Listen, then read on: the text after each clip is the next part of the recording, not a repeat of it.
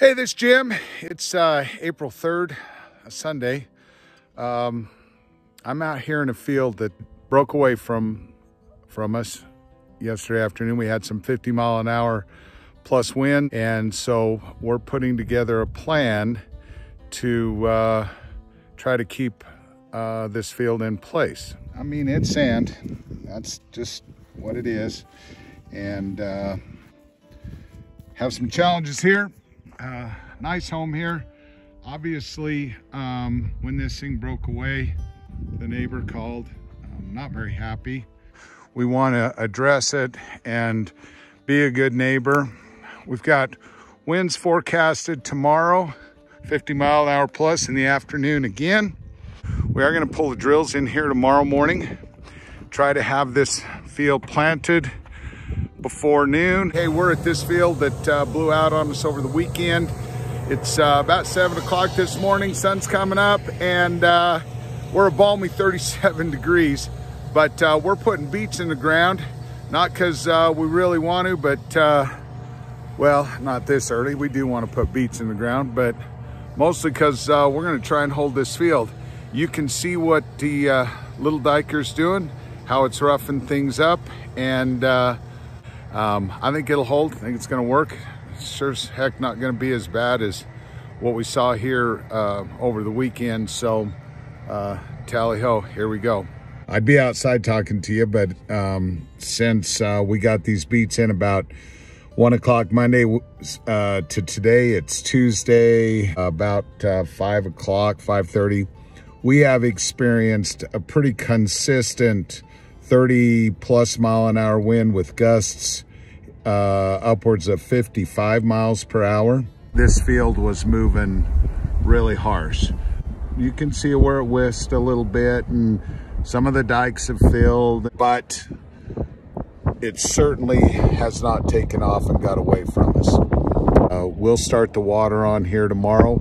Our plan is to fly some wheat seed on run the lines across. You know, hopefully, you know, we can learn some things here that will help growers um, down the road. So it's April 10th, about 8 o'clock. Um, we had another tough weekend here. Wind started picking up Friday afternoon, blew uh, pretty much uh, all Friday night, all day Saturday, Saturday night. Uh, a lot of uh, dirt and dust moving um, especially in the sandier, lighter soils. Um, but uh, decide to shoot back over here and uh, see how things are going on uh, on my field. It it looks really really good. I'm I'm uh, uh, I'm I'm very impressed with the, what the, what we've been able to do with the little dikers. Well, I have uh, kind of looked this field over. Um, honestly, feeling really good about it right now. Um, so you know, we're hoping uh, the rest of this uh, week treats us better than uh, we've been treated over the weekend. Give you an update of what things look like in uh, in East Idaho. Um, it's been a tough, tough week. We've had snow temperatures down in the low 20s. I came to check, not to see if they're blown out. I've got a lot of confidence that they're not blowing out. I came to see if my beets had sprouted. And uh, sure enough, um, they have they have sprouted. Hopefully, uh, the cold nights this past week and the cold nights we have coming won't take them out.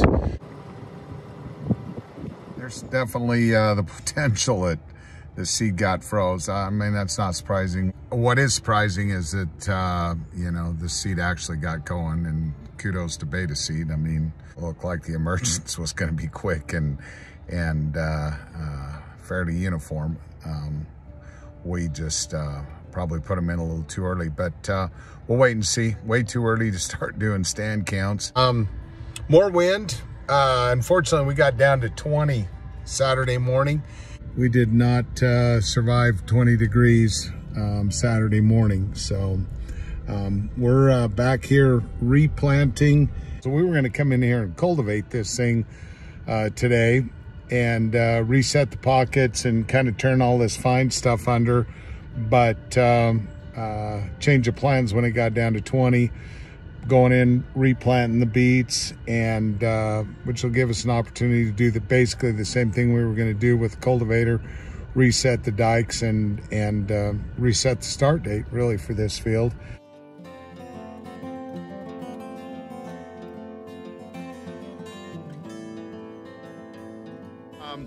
Last time uh, I was here, well, that I made a video with you, we uh, replanted. We've been across with the water once, just went through uh, three uh, days of wind.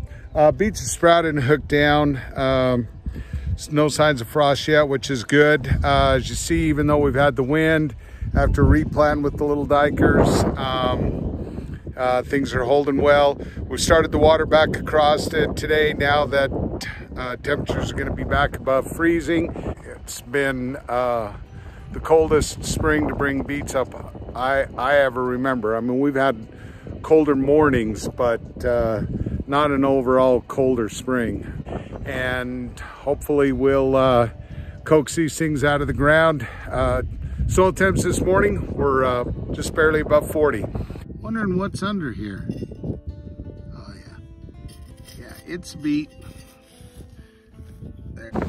I'm uh, here at the field that uh, we have been uh, significantly challenged on. It's been frozen, the wind's blown. We've had over 50 mile an hour winds pretty much all day. Uh, started about 9.30 uh, at 40, 45, and uh, by 10 was 50 miles an hour. It's almost 4 in the afternoon, been a steady 50 miles an hour.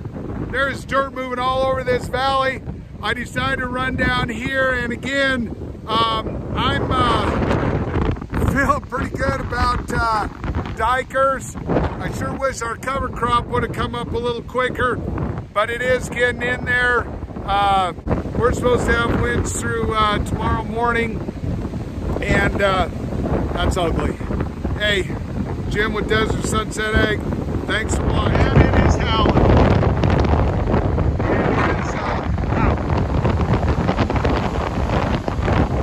Hey, I'm out here on our uh, field we're consulting on in the sand. You can see the cover crops coming up. It's been a hell of a spring, folks. Friday, we had uh, a day long of winds, uh, 50, 55 mile an hour plus. Um, our field still uh, hanging in there.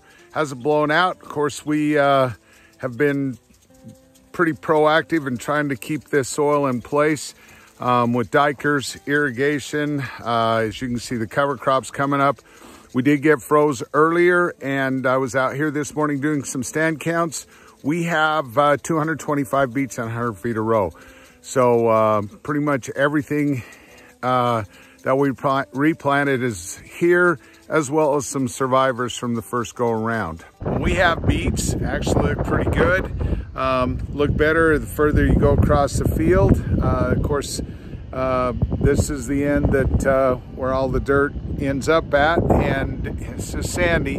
Two thirds of this field is uh, real sandy. But uh, pretty excited that uh, we still have beets that have not been blown out. I think we're we're going to make a pretty decent beet crop here, especially considering as hard a spring as we've had. This is our field. Um, as you can see, uh, we made it. Um, surprisingly enough, uh, it was the frost that took the first stand of beets out. Uh, I'm pretty thrilled. Um, obviously not where we wanted this beet crop for June 21st, but uh, we're better off than a, a, lot of our neighbors and uh, some of the guys in the upper snake because it has been a really difficult spring. Last Friday and Saturday, we had two days of 50 to 60 mile an hour winds. Uh, we had corn that got cut off and hay that got moved around, uh, wheat that got knocked down, uh, and, and some sugar beets that got uh, taken out, but um, not this field. So uh, pretty happy with uh, how things have gone. We did learn some things here, um, and hopefully you did too. So Thanks for watching. This is Jim with uh, Desert Sunset Ag and Chapman Seed.